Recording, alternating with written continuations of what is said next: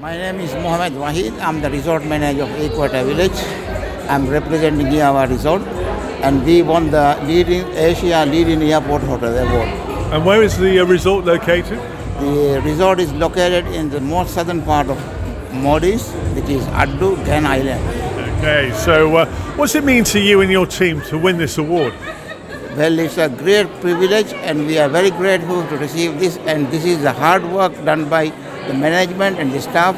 And also, we are very happy that we this is a symbol of the love we receive from the community of where we our hotel belongs to. Well, congratulations and thank you for joining us here in Dubai. Thank you very much.